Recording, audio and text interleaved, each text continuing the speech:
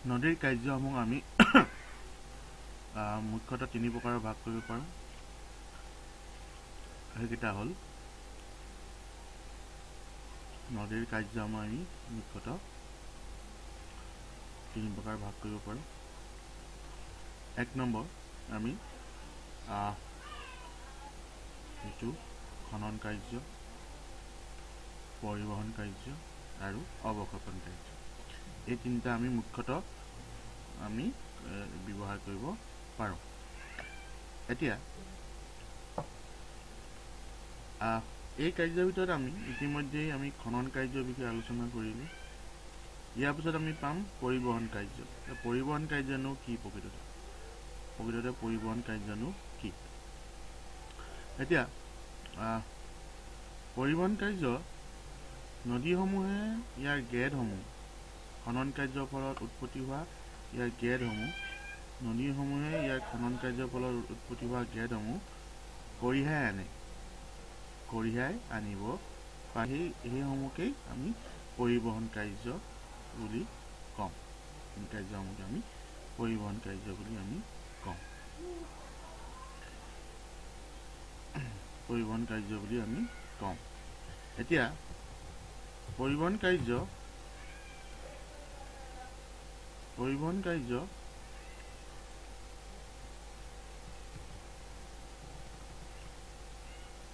পৰিবহণ কাৰ্য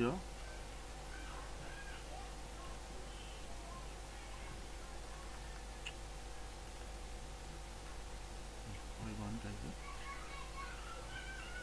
পৰিবহণ কাৰ্যক আমি যিসমূহ গেট খনন কাৰ্যৰ পৰা উৎপত্তি হয় বা অন্যান্য পদাৰ্থ, খনিজ দ্ৰব্য হওক যিহেতু অঞ্চলৰ পৰা বৈ আহে সেই গেট এই গেটসমূহ পৰিবহণ কাৰ্যৰ যোগেদি নদীখনে এঠাইৰ পৰা আন ঠাইলৈ স্থানান্তৰ কৰে।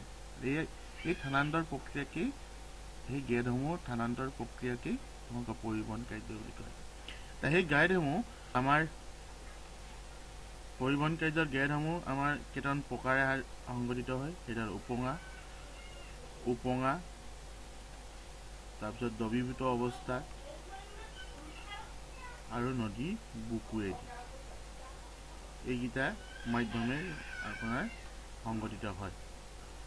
পৰিবহণ কাৰ্য তিনি প্ৰকাৰে সংগঠিত হয় দ্ৰৱীভূত অৱস্থাত, উপঙা অৱস্থাত আৰু নদীখনৰ বুকুৱেদি।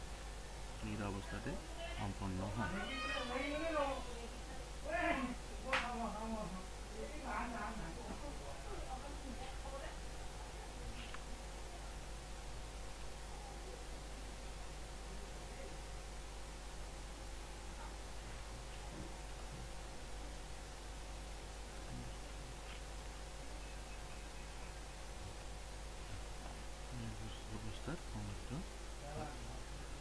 এতিয়া আমি এই ভিডিঅ'টোত অলপ আমি জানিবলৈ চেষ্টা কৰিম কেনেকৈ নহয়।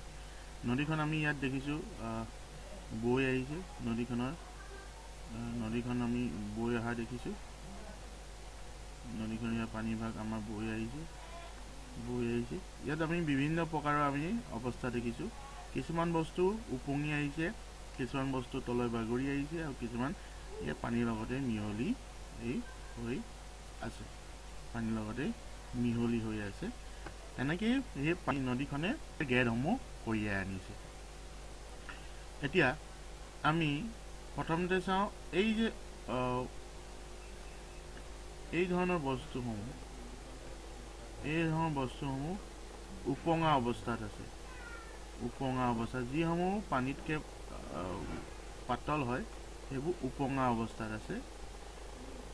আৰু কিছুমান খনিজ দ্ৰব্য বা অন্যান্য পদাৰ্থ তোমালোকৰ দ্ৰৱীভূত অৱস্থাত আছে। দ্ৰৱীভূত দ্ৰৱীভূত অৱস্থাত আছে। এতিয়া দ্ৰৱীভূত অৱস্থা আছে মানে কিছুমান থাকে উপঙি থাকে কিছুমান ইয়াৰ লগত পানীৰ লগতে মিহলি হৈ থাকে। আমি যিসমূহ পদাৰ্থ পানীতকৈ পাতল হৈ আহে যেনে আমাৰ কাষ ওচৰ পাজৰ ওচৰ পাজৰ নদীখনৰ ওচৰ পাজৰে থকা বিভিন্ন কাঠ খৰি আদি উপঙি আমি বাৰিষা সময়ত নদী এখনত চালে আমি ইয়াৰ উপৰি ইয়াত থকা বিভিন্ন পাতলা যেনেকৈ বালি হওক আমি বালি হওক এইবোৰ উপঙি উপঙা অৱস্থাত থাকে। আৰু কিছুমান বস্তু যেনে বোকা খনিজ দ্ৰব্য আদিসমূহ দ্ৰৱীভূত অৱস্থাত দ্ৰৱীভূত অৱস্থাত তাৰমানে পানীৰ লগত মিহলি হৈ থাকে।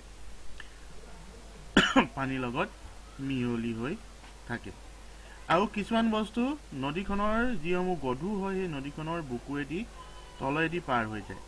সেই তেনেকৈ তোমালোকৰ তলেদি পাৰ হৈ যায়। যেনেকৈ আমি এই বস্তুসমূহ দেখিছোঁ যিসমূহ গধুৰ তলে তলে খহি খহি বুকুৰ খহি বুকুৰ নদীখনৰ বুকুৱেদি খহি তোমালোকৰ বাগৰি বাগৰি অৱস্থা যায় যিসমূহ গধুৰ পদাৰ্থ।